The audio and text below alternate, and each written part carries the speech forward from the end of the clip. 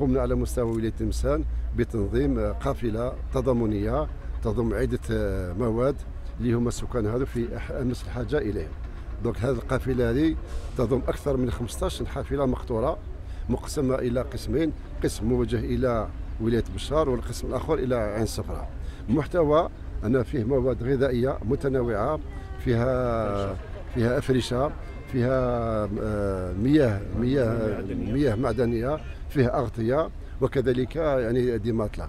اذا نحن في اتصال مع السيد ولي ولايه بشار وكذلك ولي ولايه نعمة. حصينا آه، بتقريب يعني ما هي احتياجات الولايتين وحنا في صدد تنظيم هذه القافلتين وربما الأسبوع المقبل إن شاء الله سوف تكون إمدادات أخرى ومساعدات أخرى لمساعدة إخواننا في هذه الولايات. يضروا كثيرا بهذه التقلبات الجوية الاخره